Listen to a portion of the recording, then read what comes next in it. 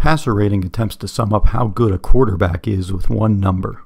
It can be used for individual games, but more importantly, the NFL uses it to determine its passing leader each season, as opposed to yards passing or completion percentage as they've used in the past.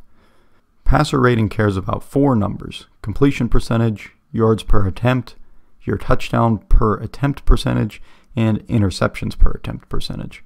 In other words, complete the passes that you attempt, the more yards per pass the better, TD passes are good and interceptions are bad. Seems reasonable. Each of these four figures are treated as equally important, so you can't slack off in any category. Even if you have a great day with lots of yardage and touchdown passes, throwing a few interceptions can still tank your passer rating. One of the confusing aspects of the passer rating, and probably one of the main reasons for any confusion around the stat, is that it runs on a scale from 0 to 158.3, which isn't necessarily intuitive.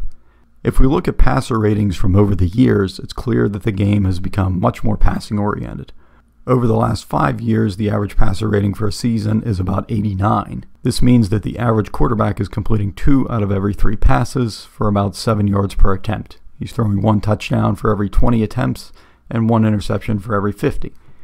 Keep in mind that other than completion percentage, passer rating cares about passes thrown, not passes completed. So in most games nowadays, a quarterback will have a passer rating between 60 and 120. A perfect game in terms of passer rating means completing almost 80% of passes with 12.5 yards per attempt, at least one touchdown pass every 8 attempts, and no interceptions. Since 1960, there have been 52 quarterbacks to have a perfect passer rated game, with Peyton Manning and Big Ben leading the way with four each.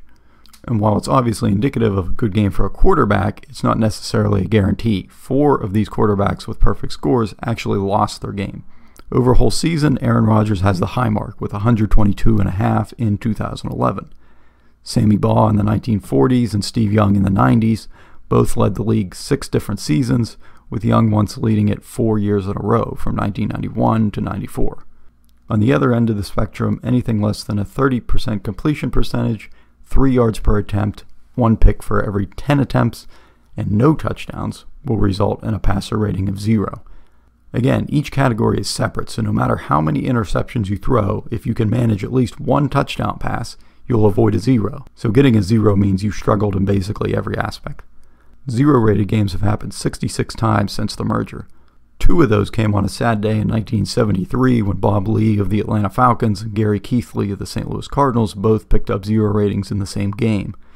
Terry Bradshaw has the record with three zero rated games, although he is one of 12 quarterbacks to have both a zero and a perfect rated game under his belt. Passer rating has both proponents and its critics. Writing for Sports Illustrated, Kerry Bryan wrote that regardless of the era, successful teams always seem to rank high in passer rating differential, that is, your team's passer rating minus your opponent's. Quote, teams that had a higher passer rating went 203 and 53 in 2010. Don't tell us that a stat that identifies the winner all by itself 80% of the time isn't one of the most important stats in sports. Then again, it also has its detractors. ESPN took it upon themselves to create a new stat called Total Quarterback Rating, or QBR. This stat is proprietary, so we don't really know the actual formula, although unlike passer rating, it does incorporate rushing, penalties, and sacks. And in some cases, yards after the catch may not be included in the formula either. Speaking of formulas, before we wrap up, the formula for passer rating is as follows, where we have our four parts A, B, C, and D.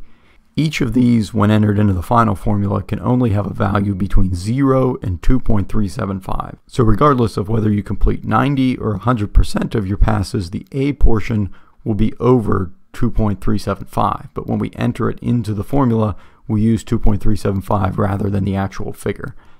And on the flip side, any figure that ends up as a negative number is entered as 0.